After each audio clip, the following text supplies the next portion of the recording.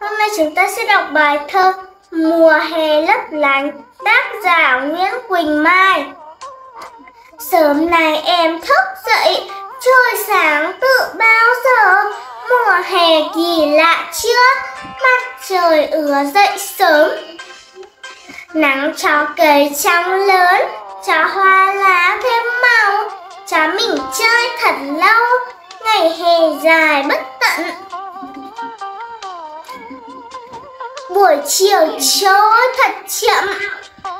Mặt trời mai răng chơi đừng đỉnh mái chân trời mà vẫn chưa lặn xuống.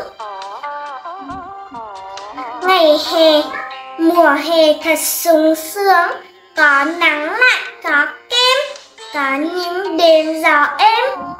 Và ngày dài lấp lánh, chúng mình đóng lại lần nữa nhé. Sớm nay em thức dậy Trời sáng tự bao giờ? Mùa hè kỳ lạ chưa? Mặt trời ứa dậy sớm. Nắng cho cây trong lớn.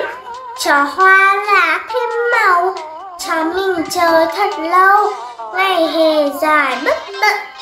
Buổi chiều trôi thật chậm. Mặt trời mãi răng chơi Đùng đỉnh mái chân trời mà vẫn chưa lặn xuống. Mùa hè thật sung sướng, có nắng lại có kem, có những đêm, có những cơn gió êm và ngày dài lấp lánh. Các bạn đã trải qua mùa hè như thế này bao giờ chưa? Mình đã từng trải qua rồi đấy. Hẹn gặp lại các bạn trong kênh bé thơ nhé. Bye bye. Hôm nay chúng ta sẽ đọc bài